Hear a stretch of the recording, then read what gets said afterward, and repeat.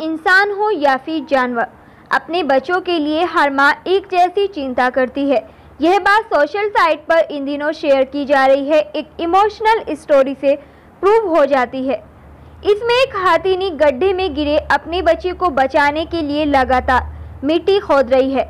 यह घटना इंडिया की है। हालाँकि इंडिया में कहाँ की है, इसका खुलासा नहीं किया गया है।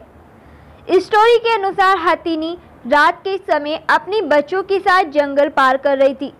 उसी समय उसका छोटा बच्चा रास्ते में बने एक गड्ढे में गिर गया। उसे बाहर निकालने के लिए हाथीनी ने काफ़ी संघर्ष किया। लगातार बिना रुके 11 घंटे तक गड्ढा खोदा। घबराहट में हाथीनी अपने बच्चे के ऊपर ही और मिट्टी डालती जा रही थी। उसने सुबह तक मिट्टी खोदना जारी रखा, लेकिन वह अपने बच्चे को बाहर नहीं निकाल पाई। वह थक गई और रोने लगी।